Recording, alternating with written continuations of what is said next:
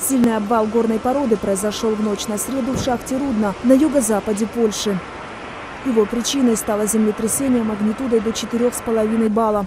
Эпицентр подземных толчков находился в 11 километрах к северо-западу от города. По меньшей мере два горняка погибли, еще шестеро считаются пропавшими без вести.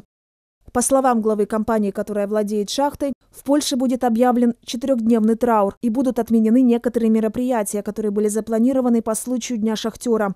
Спасательная операция проходит в очень сложных условиях. Ratunkowa jest prowadzona w trudnych e, warunkach. Изначально в результате обрушения под землей были заблокированы 16 человек. 8 горняков удалось эвакуировать, их отправили в больницу с различными травмами. Польские власти создали специальную комиссию, которая займется расследованием инцидента.